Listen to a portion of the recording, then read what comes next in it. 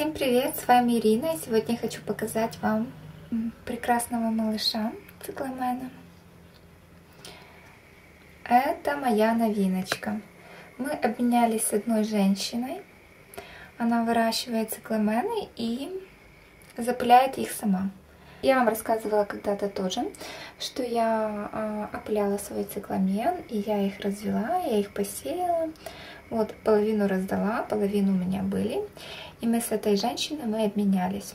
Она мне свое растение, я ей свои растения. Так как у нее немножко растений больше, чем мои, я ей свои сеянцы. Вот, и еще несколько декоративно-лиственных растений. Вот. Таким образом мы обменялись, у меня получилось вот такой вот красавчик. Хочу показать вам эти бутоны. Это просто невероятно. Оно мне напоминает, знаете что? Какую-то кондитерскую конфетку. Такое впечатление, что этот бутончик просто обмакнули в кокосовую стружку. Потом цветочек будет с такими вот, ну, знаете, зубчиками. Красивый будет.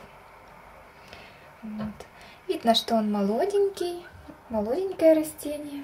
Сравнить, допустим, сравнить с моим, то видно по размеру.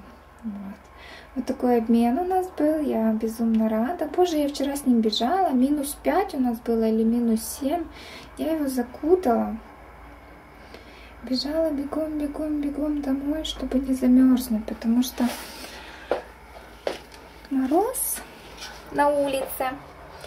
Да, вот такие вот кондитерские у меня бутоны. Кондитерское чудо просто. Жду не дождусь, когда они распустятся. Э, цвет должен быть такой бордово-малиновый. Ну, отличается от моего. Ну, примерно, может, как ну, бордово-малиновый. В общем, будем ждать. Следующее, что я вам хотела показать, это моя планцетти. Она уже стала вот такая вот лысенькая.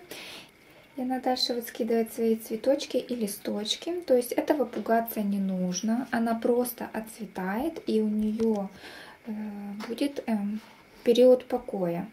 Что мы делаем? Мы просто сокращаем полив, реже ее поливаем и как бы оставляем ее в покое. Ни в коем случае не выкидывайте. Вы можете подумать, что ваше растение вашему растению плохо или оно умирает. Посмотрите, у нее полностью, сейчас я, если присмотреться, в пазухах, вот тут, тут, у нее полностью везде живые почки. У нее вот эти вот сами э, стебли, да, они все живые. Вот почечка. Все почки у нас живые. С этих почек у нас весной пойдут новые листики. Вот. Наше э, растение также можно стричь, формировать. Вот видите, каким образом сформирован этот куст. То есть изначально он был подстрижен на вот такое вот коротенькое расстояние. Вот как красиво. И было сформировано вот 5 вот таких вот побегов. Таким способом мы получаем пушистый куст. Если мы хотим формировать дальше свою пуанцетию, мы ее, каждый побег можем вот, обрезать. И с боковых почек у нас полезут еще ответвления. Вот. Таким образом мы можем формировать куст. Вот эти, если при обрезке у нас остаются вот эти вот черенки, мы их можем укоренять. Тоже ничего не нужно выкидывать. То есть укореняем и вперед. Можно кому-то подарить. Если есть время и желание, можно этим заниматься. Вот свою пуанцетию, цветашку я, наверное, а, отдам маме, чтобы она за ней присмотрела. Вот, чтобы себе разгрузить подоконники. А дальше видно будем. Потом будем ее пытаться зацвести в следующий раз. Вот. Да, зацвести пуанцетию тоже не так уж и просто. Ей требуется короткий световой день. Как это сделать? Если вам будет интересно, будем потом пытаться. Так что да, не пугайтесь своих голеньких кустиков. С растением все хорошо. Оно не умирает, как многие думают. и не выкидывайте ваши растения. Да, еще хотела показать свою розочку. Моя розочка пробуждается, она уже чувствует, что световой день у нас встает больше. Она пробуждает свои побеги. Вот. Со всех сторон у нас лезут новые свеженькие листики. Пробуждаются почки. И что я хочу с ней сделать? Я хочу ее, конечно, по-другому сформировать. Я ее хочу обстричь. То есть мне вот эта вот длинная, она не нужна. Чтобы сделать пышный куст, я хочу заняться ее обрезкой. Вот. Я подумаю, как это лучше сделать, и обязательно ее сформирую. Так что вот такие дела. Такой у нас был новый Цикламенчик очень-очень прикольный. Так. И зацветают мои каланхоя. Все-все в бутонах. Жду тоже ихнего цветения. Они так классно цветут. Очень классно цветут и очень долго. А, и да, еще вам забыла рассказать и показать. Сейчас я его, наверное, поставлю отдельно. Это наш новый питомец.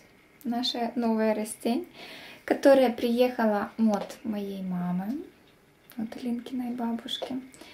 И эта Алина вырастила сама из косточки. Этим растением года 2-3. Вот. Это лимон, а это, я не знаю, кто знает, подскажите, либо мандарин, либо апельсин. Вот. И они достигли того э, возраста давно. Их можно прививать. Вот. Тут как раз уже больше двух миллиметров. Тут вообще одревесневший хороший ствол. Даже веточкам, наверное, можно. Вот. Я, конечно, планирую достать прививки культурных растений и привить. Вот. Если кто-то по Украине занимается, у кого есть хорошие сорта, я хочу лимон Мейера. Вот. А на это растение я хочу привить клементинки. Вот. Если у кого-то есть, кто занимается, кто может потом по весне, когда будет тепло, выслать черенки, я рассмотрю, конечно же, любое ваше предложение. Буду очень рада. Да, вот такое вот лимонное деревцо у нас. Оно начало у мамы портиться.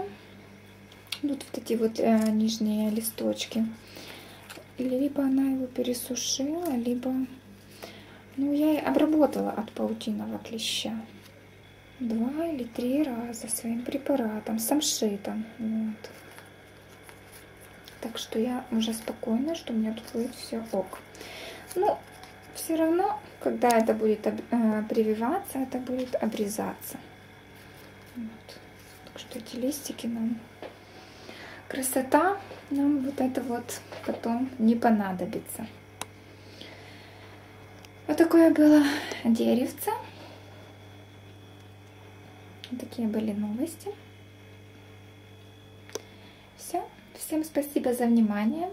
С вами была Ирина. Всем пока-пока.